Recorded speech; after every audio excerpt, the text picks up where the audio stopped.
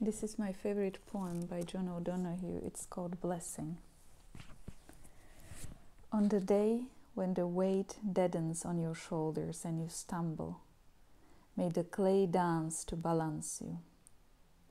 And when your eyes freeze behind a grey window and the ghost of loss gets into you, may a flock of colors indigo, red, green, and azure blue come to awaken in you a meadow of delight.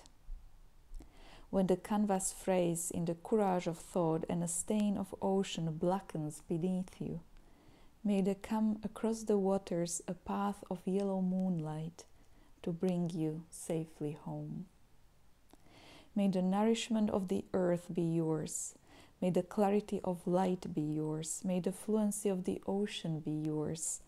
May the protection of the ancestors be yours.